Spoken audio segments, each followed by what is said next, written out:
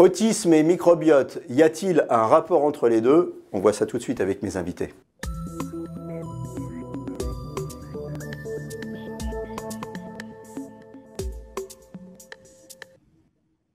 Alors avec moi sur le plateau et puis euh, une partie en, duplex, hein, en Zoom, euh, Joël Doré, vous êtes avec moi, vous êtes directeur de recherche à l'INRAE, hein, on dit INRAE maintenant, mais donc vous êtes reconnu pour vos travaux sur le microbiote intestinal.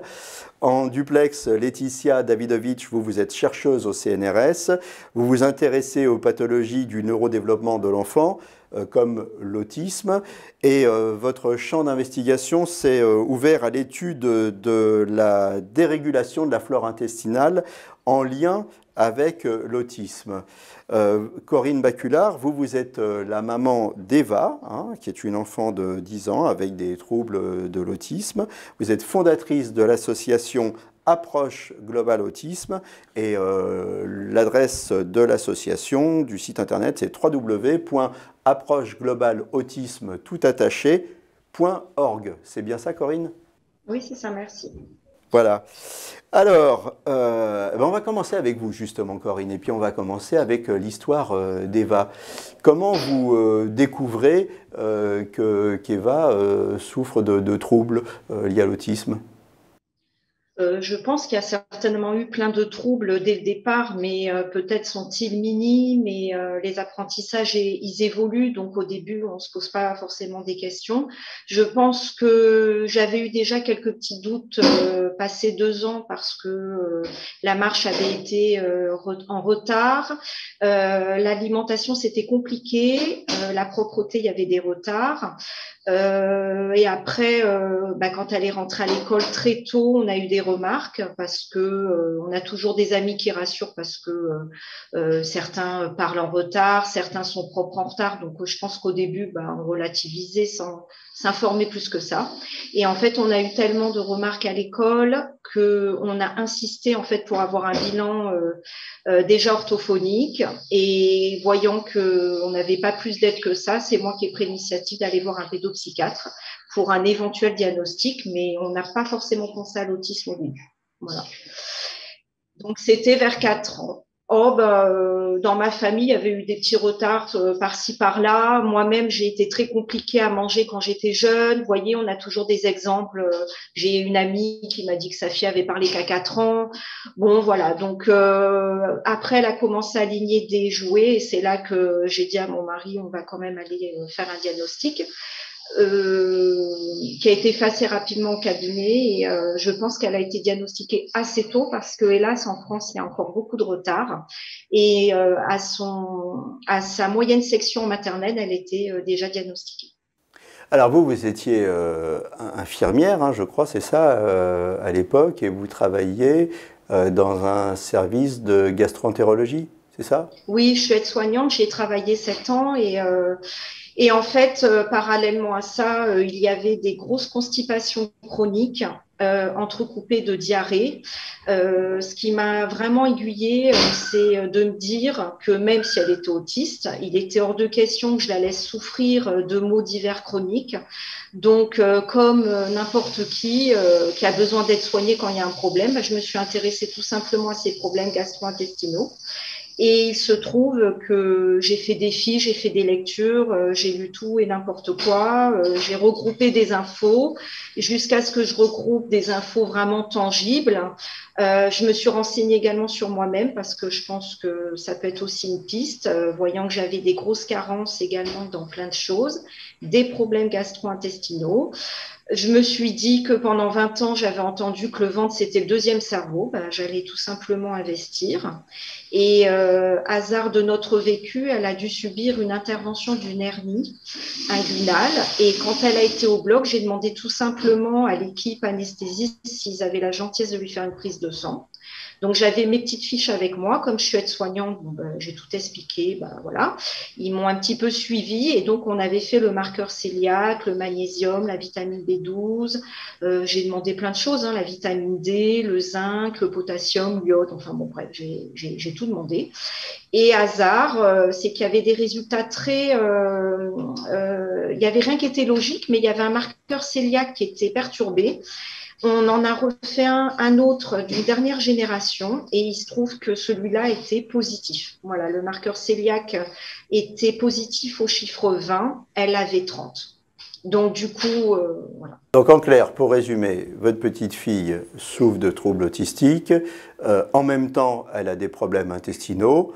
Il n'y a pas de lien euh, au départ, mais vous vous dites, bon, on ne va pas la laisser avec ses troubles intestinaux. Vous commencez à vous intéresser à la question parce que vous vous dites, tiens, on dit que c'est le deuxième cerveau. Et là, euh, bah, petit à petit, vous avancez dans vos euh, recherches, hein, entre guillemets. Vous n'êtes pas chercheuse, mais vous êtes une maman qui, est, très curieuse.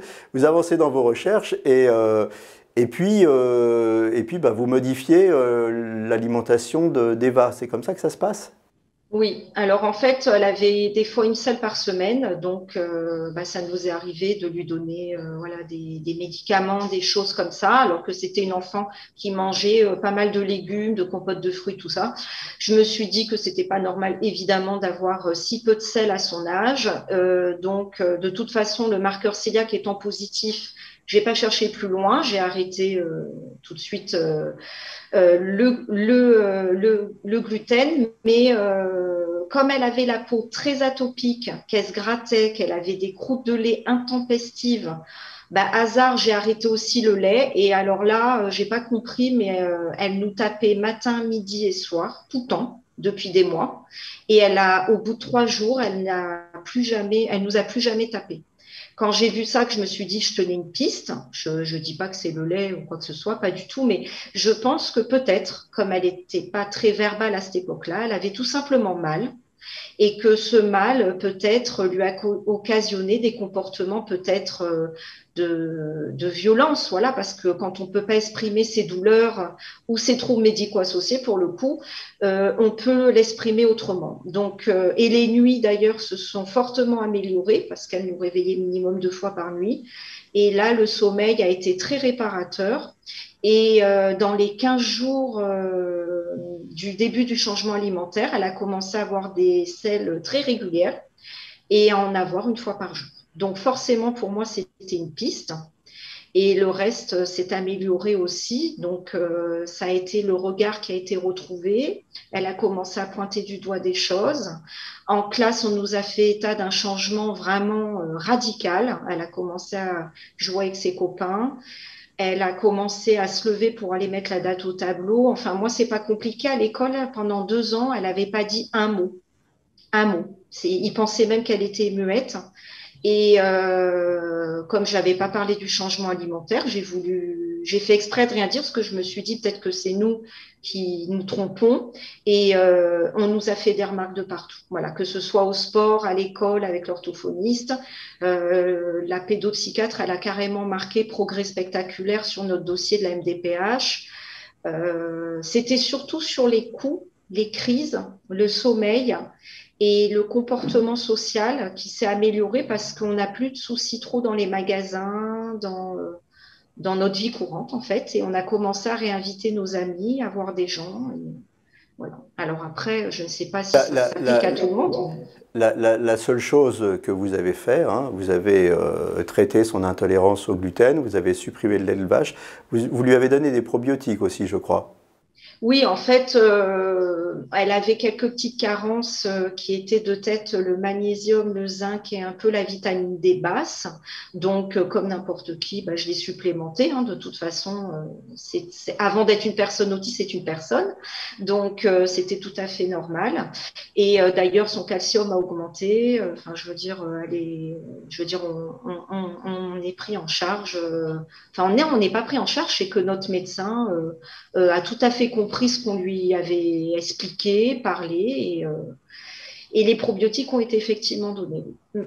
Aujourd'hui, Eva, elle est en CM2, c'est ça? Oui, elle est en CM2, elle a toujours son diagnostic d'autisme, elle a toujours son AVS parce que il, se peut que des fois elle ait quand même euh, des petits moments d'inattention. Cependant, elle avait un bilan neuropsychologique à ses 5 ans qui était euh, Petit déclin cognitif et capacité intellectuelle réduite. Elle en a refait à 8 ans au CRA, qui est le Centre ressources autisme, et elle a euh, un bilan neuropsychologique sans troubles cognitifs et capacité intellectuelle de son âge, avec léger retard de parole, et c'était il y a deux ans. Et aujourd'hui, elle est au niveau, c'est ça? Elle a le niveau de, sa classe. Bon. Oui. Alors, qu'est-ce qu'on en, qu'est-ce que vous en tirez, vous, comme conclusion, d'une manière euh, pas scientifique, mais d'une manière intuitive? Bah, Intuitive, je me dis juste que ces inconforts digestifs devaient la perturber bah, déjà au niveau douleur. Euh, certainement que quand on a mal, peut-être on ne peut pas se comporter d'une manière entre guillemets euh, normale, c'est-à-dire peut-être que ne pouvant pas formuler cela, ça l'énervait ça l'empêchait de bien dormir. Je pense qu'elle avait des spasmes. Quand on ne va pas aux toilettes de la semaine, vous vous doutez bien qu'on a très mal. Euh, et comme euh, bah, les chercheurs vous le diront mieux que moi, il y a beaucoup de neurones aussi dans l'intestin et que ça circule via le nerf vague avec le cerveau. Je pense que peut-être sa dysbiose n'étant plus, parce que c'était quand même acté sur une analyse de sel, qu'elle avait une dysbiose qui rejoint les travaux de nos chercheurs. Je pense que des neurones se sont peut-être reconnectés puisqu'ils étaient un petit peu plus dans un milieu sain. Alors, Joël Doré, Laetitia Davidovitch, ça, on vient d'entendre l'histoire, la belle histoire, on peut dire, euh, d'Eva et, et de sa maman. Ceci dit, bon, une histoire, c'est pas une étude, mais une histoire, ça peut mettre la puce à l'oreille. Et, on peut se dire que, bah oui, il y a des choses à faire euh, au niveau de, de l'autisme, Joël Doré. Tout à fait. En fait, le, la relation entre l'autisme et, et, euh, le microbiote intestinal, euh, c'est des travaux qui ont commencé à être faits dans les années 70, en fait, les tout premiers. Donc ça fait longtemps qu'on se pose la question. On a pu documenter une, dysbiose, une altération du microbiote intestinal chez des sujets autistes par rapport à, des contrôles depuis très longtemps, même si dans la littérature scientifique, pour l'instant, euh, il n'y a pas de piste convergente qui nous pointe vraiment vers un micro-organisme en particulier. Potentiellement, c'est l'écosystème qui est, euh, qui est perturbé. et, et au-delà de ça, c'est probablement la relation entre les microbes qu'on héberge et, euh, l'hôte humain, en fait. Alors dans cette émission, vous vous êtes tous intéressés au, microbiote, vous savez tous ce que c'est, mais les téléspectateurs, eux, ils ne savent pas forcément. Une définition simple du microbiote intestinal, parce qu'il y a des microbiotes. Alors qu'est-ce que c'est un microbiote Tout à fait. Donc euh, le, microbiote, c'est le complexe microbien avec lequel on interagit. Et effectivement, on a des microbiotes. Alors au moment de la naissance, en fait, on rencontre le monde microbien et on va construire son microbiote intestinal ou ses microbiotes intestinaux et, et cutanés, etc. On en a sur le corps et au niveau de toutes les interfaces avec l'extérieur, en fait, dont dont l'intestin, le côlon étant euh, l'organe microbien par excellence, puisqu'il y a 100 euh, milliards de bactéries par gramme de contenu colique, et puis il y a aussi euh, des levures, des champignons, des, archées. Et donc c'est ces micro-organismes-là qui, qui, constituent le microbiote intestinal et avec lesquels on interagit en permanence, et notamment au plan de nos défenses naturelles finalement, qui, sont, euh, euh, qui reconnaissent le microbiote intestinal dominant comme faisant partie du soi, comme n'importe quel tissu et organe de l'organisme humain. Alors, il y a des tas de choses mystérieuses dans le corps. On a déchiffré le génome humain, on a séquencé euh, l'ADN. Euh, comment on s'y retrouve dans le microbiote? Qu'est-ce qu'on fait? On, séquence, on analyse, on fait quoi? Alors, le génome, c'est un génome. En plus, il est très similaire finalement d'un individu à l'autre. Le microbiote, c'est un petit peu plus compliqué. Mais cela dit, ce que l'on applique comme technique, c'est exactement la même chose.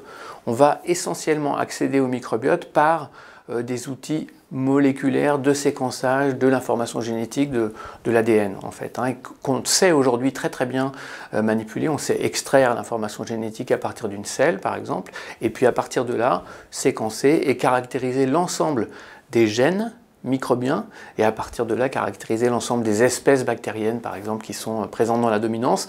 Ça a conduit à la reconnaissance d'une énorme, d'une incroyable richesse euh, de cet écosystème. C'est euh, plus de, 10 millions de gènes de microbes différents qui ont été identifiés euh, à travers des études qui portent sur plus de 1000 individus. Et, et pour chaque individu, c'est en moyenne 600 000 gènes bactériens alors que notre génome humain, c'est 23 000 gènes.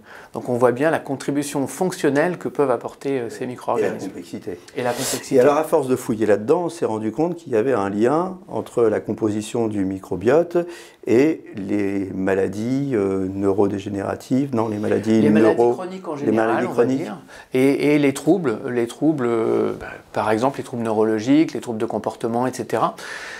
On a essentiellement travaillé au début en comparant le microbiote de patients, le microbiote d'individus avec troubles et le microbiote d'individus sans, sans troubles. Et en faisant cette comparaison sur un grand nombre de maladies. Honnêtement, j'ai commencé par les maladies inflammatoires de l'intestin, puis ensuite euh, euh, les maladies plutôt euh, métaboliques comme l'obésité, diabète, puis assez récemment finalement on travaille avec nos collègues de, Nice et notamment du, du CHU de, de Créteil avec Marion Leboyer sur euh, le microbiote intestinal chez des sujets euh, autistes. On va poser une question à, Laetitia Davidovich qui s'est euh, intéressée entre, on revenir à notre sujet de l'autisme, qui s'est intéressée au rapport entre le microbiote et la survenue de troubles autistiques. On s'est aperçu que les, les, gens qui ont des troubles autistiques avaient beaucoup plus de, troubles intestinaux que la moyenne. Comment on s'est aperçu de ça et dans quelle proportion? Alors, tout à fait. Il y a plusieurs études qui ont porté sur un certain nombre de, patients euh, autistes à différents euh, âges et il est avéré qu'ils souffrent en moyenne 3-4 fois plus de constipation euh, chronique ou de diarrhée ou de phénomènes de douleur abdominale. Donc ça, c'est quand même documenté dans la littérature. Mais au-delà de ça, moi, je voulais insister sur le fait que le, microbiote, il joue un rôle important dans la régulation non seulement de notre métabolisme, aussi de la physiologie intestinale, mais également du comportement. Et comme par hasard, finalement, chez les patients autistes, certaines études laissent supposer qu'au moins euh, des groupes de patients ont des perturbations, que ce soit au niveau euh, gastro-intestinal, immunitaire et aussi comportemental. Donc, forcément, on est tenté d'essayer d'établir des liens, mais euh, jusqu'à maintenant, euh, malheureusement, un lien de causalité clair n'a pas encore été établi, mais il y a beaucoup de travaux qui sont en cours pour essayer de, mieux euh, l'établir entre dysbiose du microbiote, troubles gastro-intestinaux et troubles du comportement associés à l'autisme. C'est important ce que vous dites. Il n'y a pas eu de lien de causalité qui a été établi. On ne peut pas dire que c'est le microbiote qui est responsable de l'autisme. On ne peut pas dire que l'autisme euh, aggrave les troubles du, microbiote. Bah, disons que pour l'instant, à ma connaissance, il n'y a pas d'étude qui fait une démonstration dans un sens comme dans l'autre. Maintenant, il y a beaucoup de travaux qui sont euh, dessus. Et je pense que l'étude dont vous souhaitez que nous parlions plus tard, qui concerne le transfert euh, du microbiote, est un pas quand même vers un élément de, euh, une démonstration d'un élément de causalité entre dysbiose. Joël Doré, vous vouliez compléter? Oui, euh, en fait, la façon euh, que l'on a d'essayer d'avancer vers le, la causalité, la démonstration de causalité, est basée sur le transfert de microbiote et on fait deux choses. On peut transférer le microbiote des patients ou de sujets contrôle vers des animaux qui sont élevés sans germes. Et on a effectivement dans l'autisme une expérimentation qui a été publiée par des collègues américains qui montre que si on fait ce transfert de microbiote vers des animaux élevés sans germes, on va reconstruire une symbiose finalement entre l'animal et ses microbes qui viennent d'un individu humain. Et ce qui a été montré, c'est qu'on a énormément de perturbations qui sont observées comportementales chez l'animal qui ressemble finalement euh, par certains aspects au comportement d'un sujet autiste. On a une perturbation du microbiote intestinal, on a de l'inflammation et on a certaines petites molécules produites par les microbes qui sont absentes dans, les conditions de transfert de microbiote vers, euh, vers les animaux porteurs de microbiote humain. Et puis, on a aussi une perturbation de l'expression des gènes dans le cerveau des animaux, et notamment des gènes qui ont été identifiés comme potentiellement des gènes de prédisposition. Donc, on a vraiment un faisceau d'informations qui vont dans le sens d'un potentiel lien de causalité. Je pense que ce qui est important de rajouter, c'est que ce qui se perturbe, ce n'est pas le microbiote en tant que tel, c'est vraiment la relation de l'individu avec ses microbes qui fait que bah, finalement les choses peuvent s'altérer, les fonctions normales du microbiote peuvent disparaître et à ce moment-là, on est moins bien protégé contre des troubles, notamment des troubles intestinaux avec potentiellement des douleurs associées. Alors, deux choses quelles sont les, causes de l'altération du, microbiote hein, On va donner quelques, quelques, causes rapidement. Et puis, vous avez euh, parlé de, transfert de, microbiote. Alors, vous, vous êtes des spécialistes, vous savez ce que c'est. On va dire aux gens ce que c'est que le transfert de, microbiote. Alors, un, l'altération en premier. en fait, euh, j'aime vraiment bien insister sur le fait qu'on a affaire à une symbiose, qu'on a le microbiote intestinal, puis la perméabilité la paroi intestinale qui peut devenir un petit peu poreuse, qui laisse passer plein de choses. Ça va entraîner de l'inflammation, qui entraîne du stress oxydant, qui lui-même va continuer à altérer un petit peu plus le microbiote. Donc on a un cercle vicieux qui peut s'installer. Et là, on est dans des situations qui sont compliquées à gérer. Les points de départ peuvent être multiples, c'est-à-dire que l'alimentation elle-même va jouer sur le microbiote. On peut l'utiliser comme un levier bénéfique, comme on en a parlé tout à l'heure avec Corinne. Mais ça peut être aussi quelque chose qui va altérer la perméabilité intestinale. Les, les polluants, par exemple, environnementaux ou les additifs alimentaires peuvent jouer sur la perméabilité intestinale et entraîner de l'inflammation. Donc on voit bien, les antibiotiques, bien sûr, vont jouer sur le microbiote intestinal de façon euh, immédiate, assez rapide, en quelques jours en fait. Hein. Donc on voit comment les choses peuvent, euh, peuvent se dégrader. Et quand on a un cercle vicieux, bah, finalement, casser ça, c'est assez compliqué. On a quelques éléments dans la, la recherche en cours, j'ai envie de dire, c'est vraiment de la recherche du moment, qui nous montre que dans un modèle animal de dépression, si on agit à différents niveaux en même temps, on est capable de restaurer des conditions normales et on est capable de faire aussi bien avec quelques composés alimentaires que ce que l'on fait avec un antidépresseur actuel euh, de la médecine finalement. Donc on a ces pistes-là qui nous disent oui, on peut agir. Et sinon, il y a le transfert. Alors qu'est-ce que c'est le transfert, euh, Laetitia?